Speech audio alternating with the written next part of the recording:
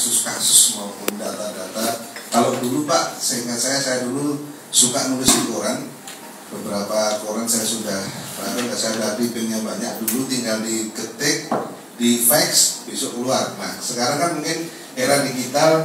Nah ini tadi saya juga sudah kebetulan dapat informasi dikit dari Bapak tentang bagaimana kita nantinya mempublish berita-berita itu melalui baik telepon, email maupun lain sebagainya itu saya agak terbantu juga.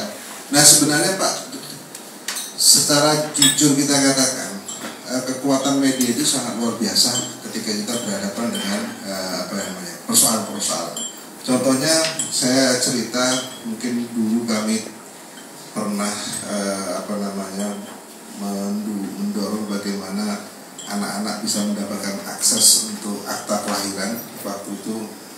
Junata ini sebagai advokat dan kawan saya dulu kita rame-rame awalnya ya agak tensi-tensi tinggi kemudian saya yang bilang ya udah Pak kalau kayak gitu kita besok kumpulkan media biar gitu dipublish. Jadi kita tahu apakah undang-undang perlindungan anak atau apa enggak sih.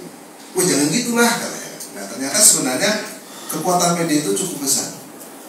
Saya berharap Pak hari ini kita duduk di sini pengennya tadi kita semua ini ya semua pasti harapannya bagaimana ini tidak hanya sekedar retorika tidak hanya sekedar seremonial tidak datang paling tidak ada keberagaman keberagaman yang bermanfaat nantinya untuk gerakan kita harapan saya Pak kita akan lebih dekat dengan media paling tidak setiap kita semua silakan datang besok dilibur tapi memang betul-betul yang berpihak pada masyarakat. Harapan saya seperti itu. Jadi memang uh, kita pengen uh, semua menjadi bagian dari uh, namanya keberhasilan program.